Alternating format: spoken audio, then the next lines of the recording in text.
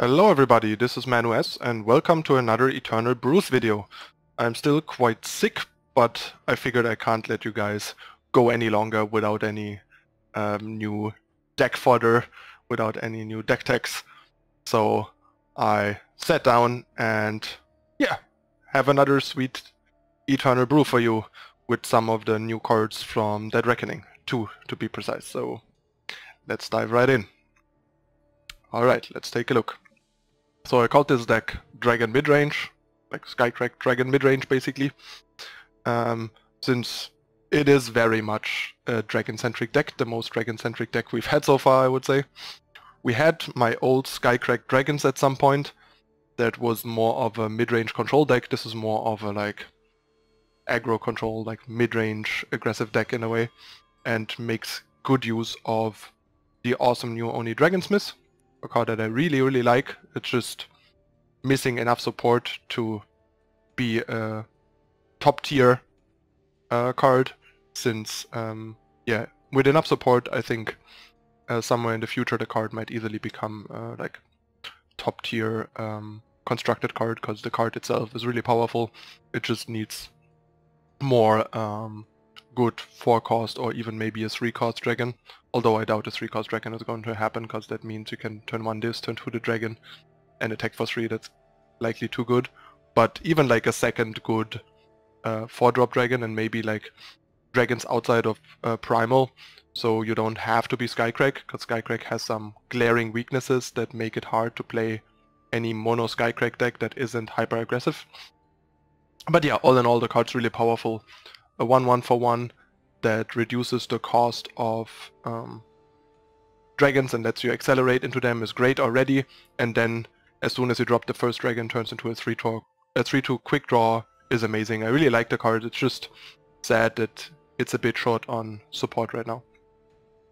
and the other uh, big card from Dead Reckoning that is flying under the radar for sure is Wardwielder. The card is also actually really amazing and indirectly also a a dragon theme card since the best card to pair it with is Mistveil Drake and you really want the Mistveil Drakes to have these uh, nut draws of turn 2 5-5 Wardwielder uh, with the um, Mistveil Drake in your opening hand. Okay, let's take a look at the deck. So it's a bunch of units, the 4 Oni Dragonsmiths, the 4 Wardwielder as early game. Then on turn 3 I'm currently drawing uh, some Daring Pioneers. They have been like um, mixed, sort of. The problem is just that um, you don't really want to play four of those, because you can never have two in play, because if you have two in play, the opponent plays one spell and both die. I initially had four, and I just had too many spots where either had multiples and sort of needed to play multiples to do something, and then got blown out and yeah, so I shaved down to 3. But the card can be situationally nice and against aggressive decks that have very few spells, for example, it's a really great roadblock early on. And also if they have a spell, the spells they use would kill it anyway, like their removal, their torch, or their uh, finest hour, if it was a regular 3-drop that didn't have 4 health, for example. Or even outside of torch, even if it had 4 health, like a vanquish or a finest hour or an annihilate would kill it anyway or any other like combat trick or mortar or something. So um, yeah, the card just doing a decent job, and even against control, it might um, force them to throw away a good card, like maybe having to uh, trade their Wisdom of the Elders for it or something, uh, which is still decent. And sometimes if you play it on like the right turn, it can force them to having to delay their um, Harsh Rule for a turn, and that might be the difference between winning and losing. So a well-timed Pioneer can have some nice uses. Then we have for Yeti Furflinger. This is the first deck that really can support and wants Yeti Furflinger in my experience. Um, it's the first time I got to uh, seriously try the card, and I was quite happy with it. Like Nightfall is still a sort of shitty mechanic, and I wish it just didn't have Nightfall. But to be fair, I think it has Nightfall to sort of balance uh, it down a bit, because a 3 cost, 3-4 uh, with such a great ultimate in a mono uh, as a mono faction card and just a rare is actually pretty premium. Like I think if it wasn't if it didn't have Nightfall that would be a legendary most likely.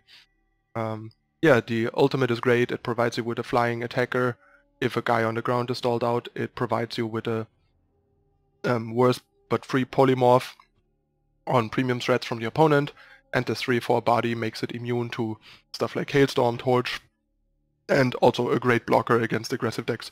Card has been all around amazing, and the power base of the deck has been very good at supporting it, with only 6 fire sources out of 26 plus the Eilyn's favor, so 6 out of uh, 30 uh, don't support it, so you can very consistently play the card on turn 3 actually, so that's really nice. Then we have for Crimson Firemaw, the cheapest and best dragon in the deck.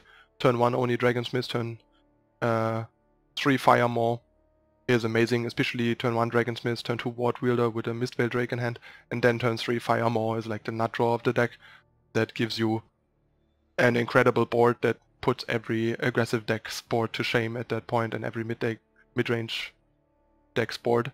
It's just really, really powerful and the cost reduction is actually quite relevant when you are playing a bunch of 5, 6 and 7 cost dragons and especially on uh, Thunderstrike Dragon. Uh, getting both copies reduced is a big, big deal. Um, yeah, Pearlescent Drake, like the next best dragon, so to speak. Um, one more expensive, so you can at least go like turn 3, turn 4 dragon with this. The deck sometimes struggles a bit to spark it in some scenarios, like it's not super reliable at sparking, but it's still decent and sometimes it's also just fine as a 6-3 um, if the opponent doesn't have a 3 attack um, flyer or something, because the evasion makes up for the uh, lack of spark sometimes. And yeah, it just hits really hard. It, if it's sparked, it blocks everything the turn it comes down, so it basically locks down the board hard for one turn and then starts pounding the opponent real hard. Then we have Thunderstrike Dragon. Um, actually, a premium card that, uh, yeah, sees play too little because it often just doesn't have the right home for it. Not because it's not good enough, the card is actually really, really powerful. Um, a 5-6 flyer for 6 is a bit below the curve, but given that you get 2, and that the 5-6 still matches up well against most units in the game, only a handful of units outclass it, it's not that big of a deal that it um, arguably costs half a power or a power more than it normally would without the echo, and then getting two copies is just so powerful. And reducing the cost by with Oni Dragonsmith and Crimson Firemaw makes it even more powerful. This is one of the um, yeah most powerful cards in the deck, sort of, that just overwhelm a lot of opponents by just jamming a bunch of dragons until you eventually can just kill the opponent in one or two swings. And last but not least, we have Mistveil Drake.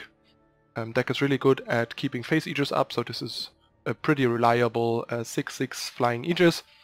Also, I already mentioned the synergy with Wardwielder. Having free face Aegis has also a bunch of um, other random benefits, so that is nice too. Um, it's a bit clunky and expensive at 7 unfortunately, but it's um, the fact that Oni Dragonsmith makes it cheaper and that it's so good with Wardwielder, and we also have Firemaw to sometimes make it cheaper, is definitely worth it. Um, it's also nice that if you draw it with a Strategize, and then bottom it, you still get the face Aegis, so you don't have to keep it in your hand until the spell resolves, so that's really cool. That's something worth uh, keeping in mind. And a 6-6 flying Aegis is actually a really good threat. It beats Icaria, um, beats any weapon other than like Raised for weapons. And um, yeah, overall it's just a pretty good threat against mid-range and control decks. Against aggro it's obviously just low and clunky. Then we have some pretty good and cheap removal for Permafrost and for Torch.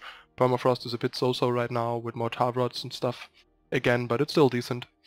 And also the best you have in uh, Skycrag really. That's one of the bigger issues in Skycrag. Um, for Eilyn's favor is part of the power base and part of the Wardwielder engine.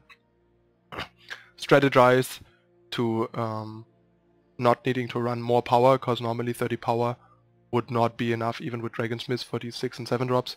But together with Strategize, the deck um, gets enough power drops to eventually play these even with, with uh, Dragonsmith being silenced or dead.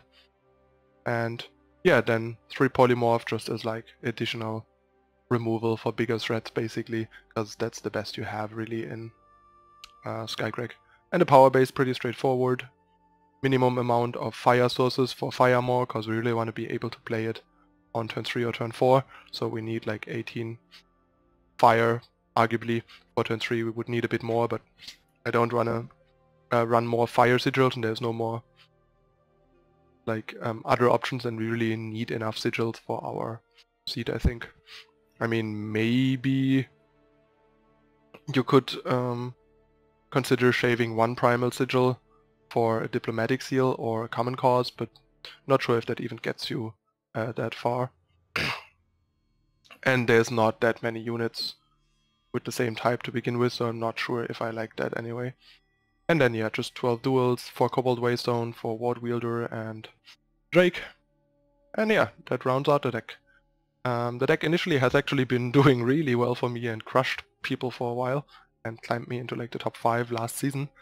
Um, by now, over like 40 games, I'm at like 23 and 17. So it's still like winning. It's still a winning deck, still a decent deck, but it's in the end not much more than a brew like any Skycrag deck that isn't aggro, just because it has some glaring weaknesses and uh, Series issues reliably dealing with a bunch of powerful cards.